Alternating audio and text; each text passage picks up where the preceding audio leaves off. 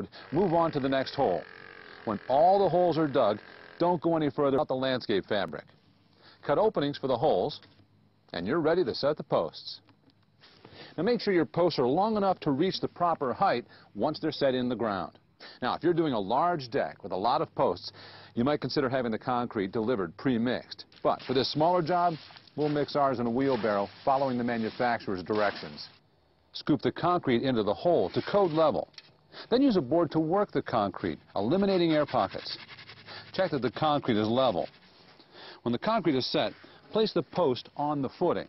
Check that it's plumb with a post level. Use the layout strings to keep the posts in line. You can attach temporary braces if needed. Then fill the hole with gravel.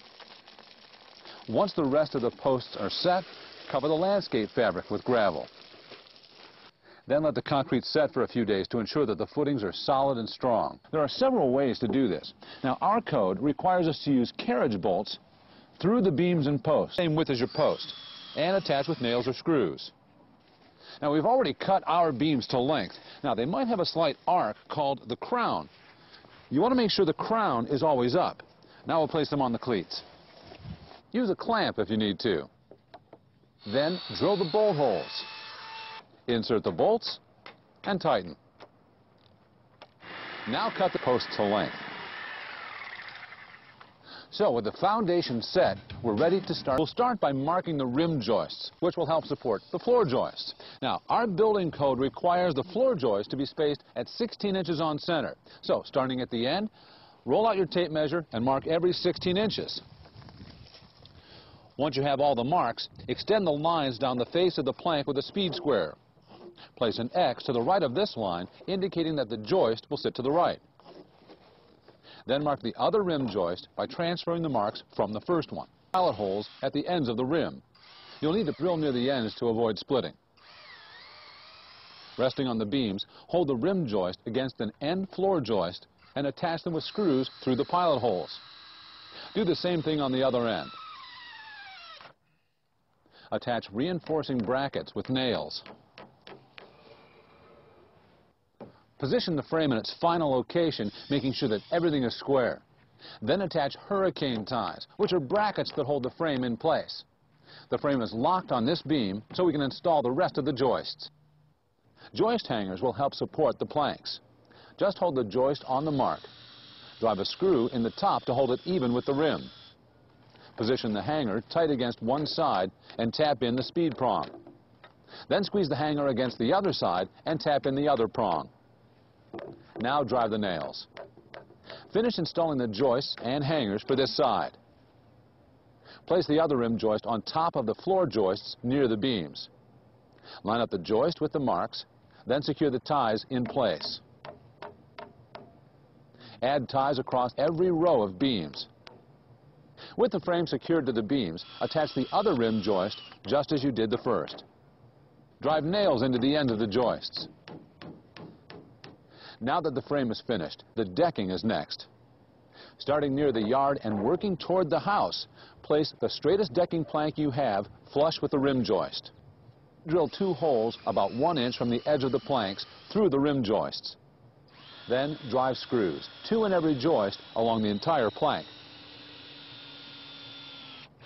Position the next plank against the first, using nails to set the space for drainage. Continue securing the rest of the deck checking for square every few planks. Now when you get to the last 10 boards, you can adjust the spacing to make the last plank fit. Or you can keep the spacing uniform and rip the last plank to fit. Just place the cut edge closest to the house. With the decking secured, snap a line on the planks over the end joists and cut off the excess decking. Well, things are looking pretty good on this deck. Now the next step is to install the stairs. Is on the framing square at the height of the rise and the length of the run. Hold the square at the corner of the plank and mark the top step. Slide the square along the plank and mark the next step.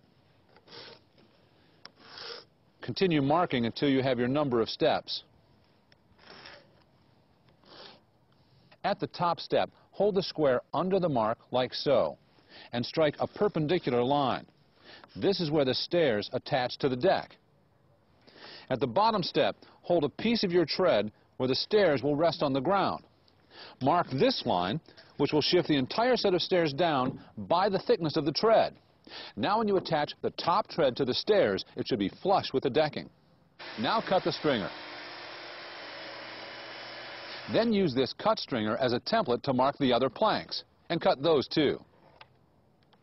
Okay, now we can start assembling the stairs. Following your building code, mark on the joist where the steps will attach to the deck. Now our stairs will be 48 inches wide and supported at the deck with brackets and at the bottom step with posts. Secure the stringers to the deck flush with the top of the joist.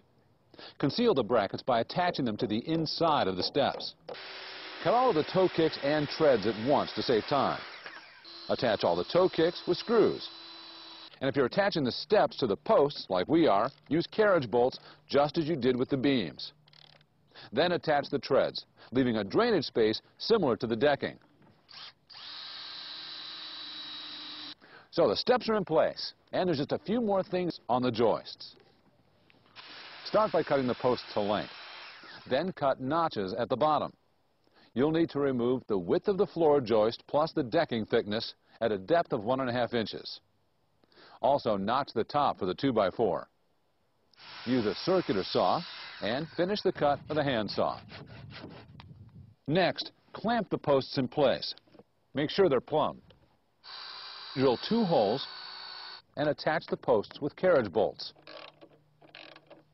For extra support along the end joists, attach bracing adjacent to the posts with screws.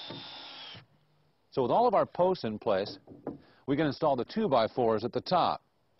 Attach them with screws. Use a miter saw to cut corner joints and joints on the stair rail. Then attach the balusters. Now you can buy them pre-cut or can cut them yourself. They need to be flush with the 2x4 rail and extend to about the middle of the joist. Evenly space the balusters at the top and bottom and keep them plumb. You can use a spacer to ensure equal distance between balusters. Now attach the top rail with screws. Five-quarter decking makes a great top rail because it has a smoother surface than regular lumber.